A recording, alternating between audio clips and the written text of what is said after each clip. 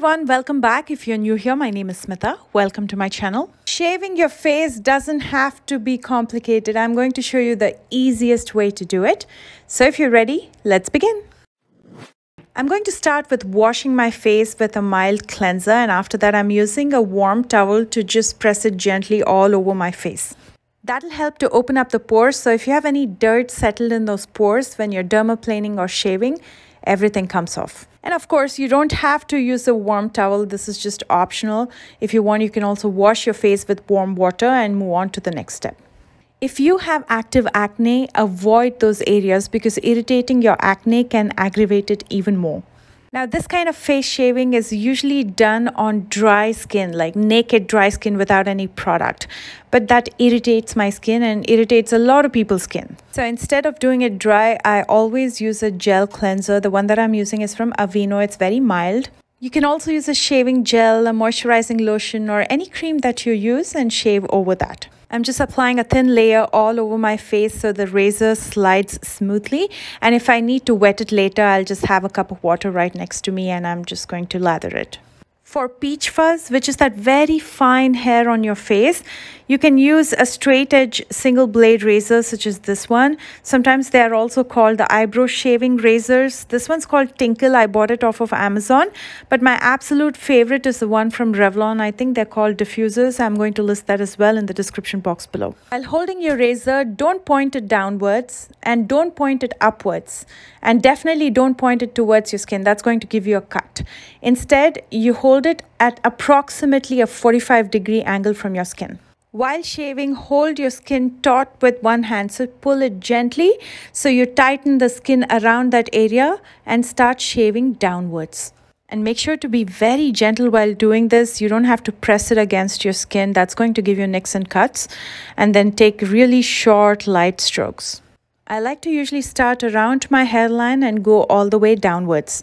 Now, because I've done my laser and mask treatments in the past, I don't have much hair on my face other than very fine peach fuzz.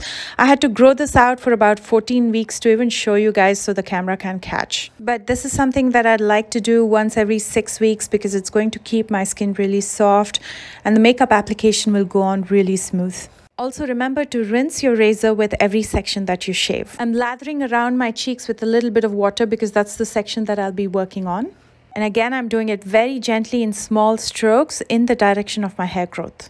Most people don't shave their face because they think that the hair will grow thicker and that's a misconception. Now, shaving blunts the edges of your hair, so it'll make it feel more stubby and coarse because you're cutting the hair and not really pulling it by the root. So that causes the illusion that the hair is all of a sudden become thicker and coarser, but that's not true. In fact, many of the spas have made dermaplaning a part of their routine. So they're going to use this method to remove some of the dry, dead skin that's sitting on the top layer. And with that, the hair is definitely going to come out because they'll be shaving.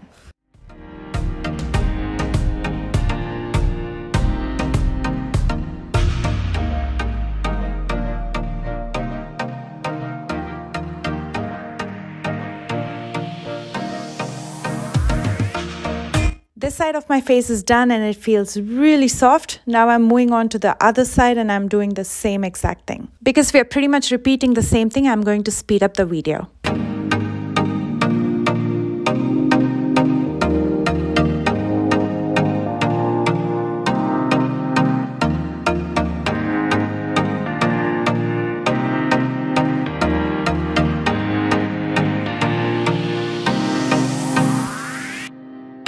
Around my chin, I have some acne, so I'm just avoiding that area and shaving the rest of it.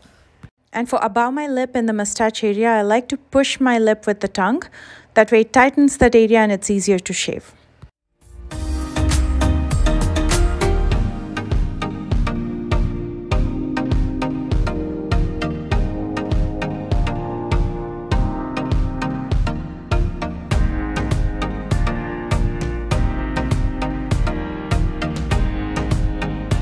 Like to do the smaller areas at the very end. And again, I'll be going in the direction of the hair growth. And I also like to do my nose. I don't have any hair on my nose, but I do it because it also removes the blackheads.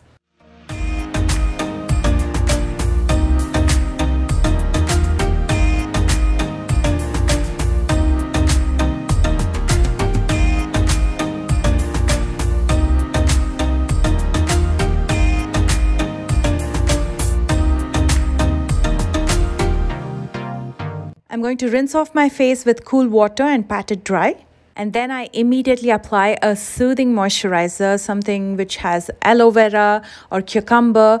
And I love this Pixi H2O skin drink. It's very hydrating. So something that's very mild on the face. I love Aveeno too. So whatever you prefer on a, a daily basis and which is soothing on your face, you can use that. I stay away from acids and you know anything that causes a little bit of irritation on the skin.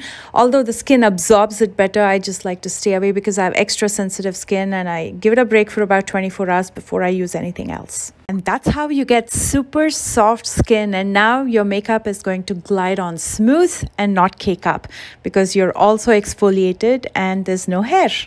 I hope this shaving tutorial was helpful. Let me know in the comment section below if you want to watch more videos like these. And if you enjoyed this video, please don't forget to give me a thumbs up. Please consider subscribing if you're new here. And for your information, I've listed all the products that I've used in the description box right below this video. I love you guys so much and I will see you soon with a brand new one. Bye guys.